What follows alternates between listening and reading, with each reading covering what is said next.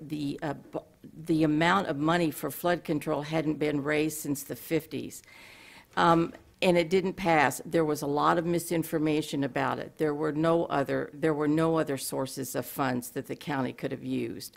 But what really makes me sad is, is that I know the families that flooded year after year. I was there in the big New Year's flood.